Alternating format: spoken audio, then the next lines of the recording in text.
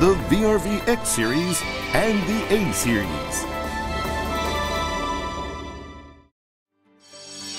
A new scroll compressor. A new scroll compressor improves operating efficiency at low loads.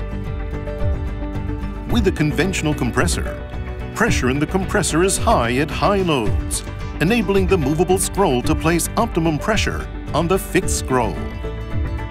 However, during low load operation, the force pressing the movable scroll against the fixed scroll is weak, resulting in a gap and refrigerant leakage.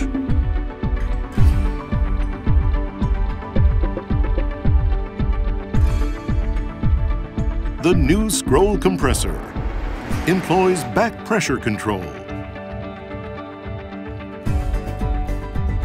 The refrigerant is sent under pressure from the intermediate pressure adjustment port to the back of the movable scroll. To optimally control the pressure applied.